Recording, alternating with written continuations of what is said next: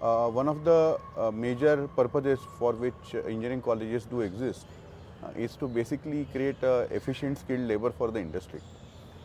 Okay. Yeah.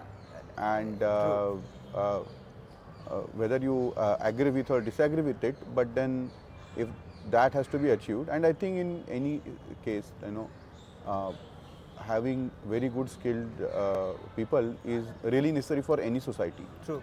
Uh, so if you want to train students uh, better in uh, their subject matter, then they should get a very wide exposure of what is happening in the world.